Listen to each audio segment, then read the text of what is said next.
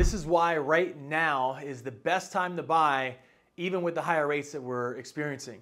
Interest rates have always been a concern. In 81, rates peaked in the modern era above 18%. So I was recently speaking with an icon in our industry. He's been selling properties since all the way back then.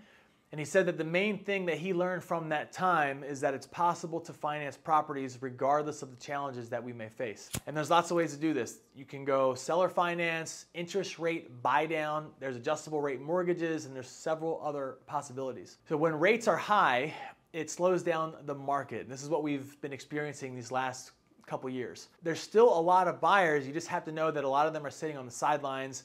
Trust me on this, I talk to people every day.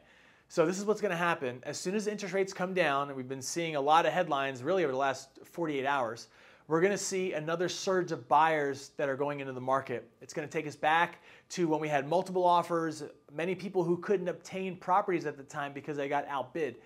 So the strategy right now is to obtain the property that you like now and as you've probably heard 50 times by now, marry the house, date the rate, as we call it. So you purchase the house now, and as long as you can still afford the payment, it's possible that you may struggle for a little bit. But as interest rates improve, you refinance, your payment goes down, and your property value has almost certainly increased substantially at this point, especially if you bought a property that was maybe a little distressed and you did some force appreciation through improvements. You've gained equity that you would have missed out on if you waited and you miss the big jam that's most likely coming where there's multiple offers, prices are way over asking, and offers are being submitted without contingencies.